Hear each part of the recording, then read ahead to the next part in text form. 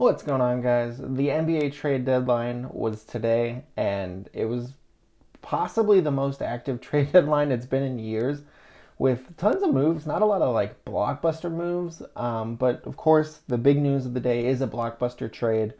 The Nets and Sixers finally do it. They finally complete the swap that's been talked about for almost a year, basically since last year's playoffs ended for the 76ers, and that is Ben Simmons going to the Brooklyn Nets in exchange for James Harden. Uh, it's a lot more than that, so here's what actually ended up happening. Uh, Brooklyn gets Ben Simmons, Seth Curry, Andre Drummond, and two 20 or two future first round picks.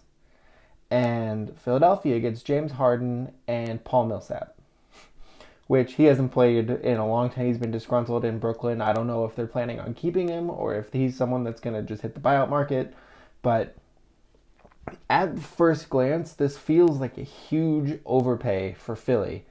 I I can't get past in my head that Ben Simmons is like 25 years old and has 4 or 5 years left on his contract. So like to me he's the most valuable piece. I know he hasn't played, and I know the last time we saw him play, it was a it was a pretty colossal meltdown that kind of kicked all of this into motion. But still, like to me, looking at everything and looking especially at the season that, that James Harden has had so far with injuries and underperforming and just looking just like unathletic and lackadaisical, it seems weird to me that that Philly would have to put in more to get him especially if he was telling management, "Hey, I'm not re-signing this this summer. Get rid of me. I want out of here. I want out of here," as is being reported. But I mean, we'll never know about that.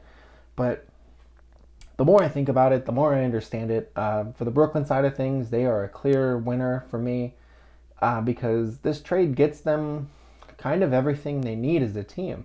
So Ben Simmons can be a primary facilitator. He can be a strong defender, one through five. He gives them defensive flexibility both on the perimeter and in the paint um, with that versatility and his size. And he adds that extra facilitator um, when you know you want to put Kyrie off ball, or if he can't play in games, or if Kyrie just can't play. So the scoring limits with Ben Simmons don't impact the team as much because you know Brooklyn's constructed to be a little bit more of a okay, we have multiple guys that can get their own shots. Like don't worry about it. We can create and get our own shots. Like Kevin Durant, and you add Seth Curry, who's gonna, you know, continue to feast on open looks, especially when you have this Nets team back at, at full health. And then Andre Drummond, um, you know, he was doing good in Philly. He, he has a role. He knows how to do it well. He's a he's a rebounding machine. So I understand that too. And it, it really like checks all the boxes for Brooklyn and it gets them back a couple picks that they had given up in the first place for the Harden trade. So all in all, it feels like the the Nets were able to really, you know, extract every last drop of value they could out of this deal. Whereas with Philly, it feels like an overpay. Like I don't if you're getting two picks, then I would have argued you don't get Seth Curry.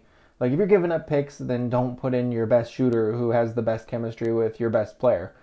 And to me, it's a huge risk. This this Sixers team has been good all year. Embiid is probably the MVP if the season ended right now.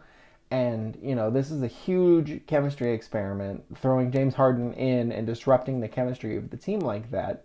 But you're taking a player who hasn't played at all in Ben Simmons and who probably was not coming back and you're turning him into a top 20 player in the league, assuming everything goes well.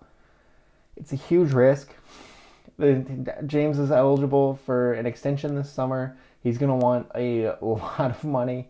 Daryl Morey is probably going to give him a lot of money. And in two years, if this goes bad and Joel Embiid is subtweeting James Harden, Daryl Morey is going to get fired. like, this is the kind of move that absolutely gets you fired because – you're giving up a lot to bring him in. And the idea is you want to maximize that window with Embiid playing at this level. You never know. With injuries, with bad luck, with whatever, you never know. So I understand it from Philly's side. I think they overpaid a little bit. I think the fact that they're keeping um, Matisse Thybulle is a huge win for them. So they get the offensive upgrade. Uh, someone I was talking to said think of it as as they're just basically upgrading Seth Curry to James Harden because it's not like they were getting anything from Ben Simmons anymore, anyways. Which I guess is a good way to look at it. I don't know if that's a if that's a perspective thing. Like, of course, Sixers fans are going to say that, and maybe Nets fans are going to say we fleeced you. And Like, you know, it could just be that. But I'm really curious to see what Embiid and Harden look like together because Embiid is kind of a more like back you down, punish you, get to the basket than he is like a rim running big man.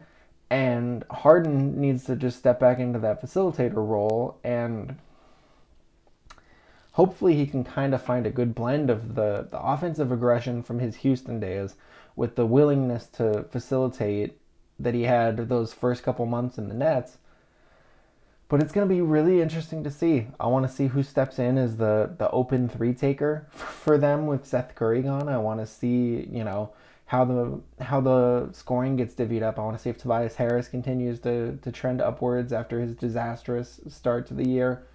Um, and then on the Brooklyn side, I just want to see what Ben Simmons looks like. I want to see if he's done anything to, to improve or expand on his game, or if they're just trading for exactly what Philly had with him uh, last year. Like, it, and it, I'd say that, and it sounds bad, but it, I don't mean it that way because he was a all defensive player. He was a top. He was an all star. He was a top talent. So even if that's what they're getting, then he fills a lot of needs for them right away. This is a risk for Philly. It's a lot to give up.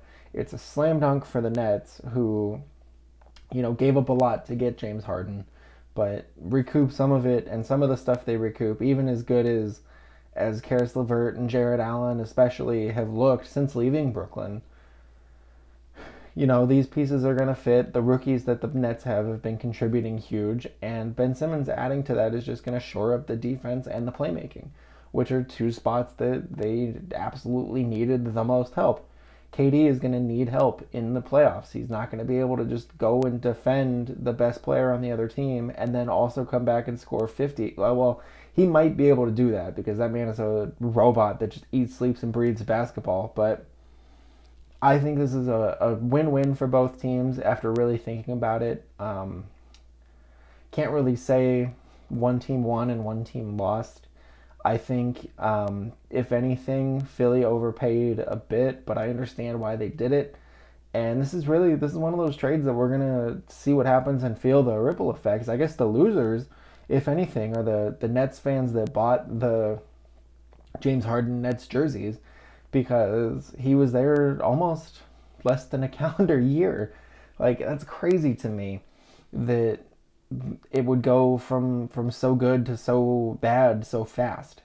And I guess, you know, the stuff with Kyrie, KD's injuries, maybe it all exacerbated it, but it's tough. It's a tough world out there in the NBA, and Harden is going to have to be on his best behavior now. He reteams with Daryl Morey, who, for whatever reason, they just there. I don't think there's a better NBA love story than maybe uh, Bobby and Toby, but the, it's gonna really James Harden is gonna have a lot to prove. He's gonna have to really be on his best behavior, for lack of a better phrase, and he's gonna have to absolutely elevate everyone every time he's on the court. Or it's gonna look like here's someone who has twice in one year forced his way out of like good basketball situations to get what he wants, to then force his way out again to get what he wants, and if he doesn't put in that effort and they don't we like the Philly media is ruthless. Like I'll, I'll be really curious to see what happens. He's been out with a hamstring tightness, so we'll see when he comes back and what he looks like right away. And then Ben Simmons, they said it's a couple weeks probably that he needs to get back into basketball conditioning and, and ramp up his activities, which I would kind of hope he's been doing this whole time, anyways, but that's another story. Um, and then it looks like they're kind of going to be gearing up to bring him back to start trying to integrate him into the playoffs. So it wouldn't surprise me if KD starts to come back around the same time, just so they can get everyone out and just try to, to build and build that momentum. Um, and if things keep going as bad as they've gone, the Nets have lost like 10, 11 straight, like they might be fighting for the playing spots. And that's not a spot you want a new team that's figuring each other out to be in.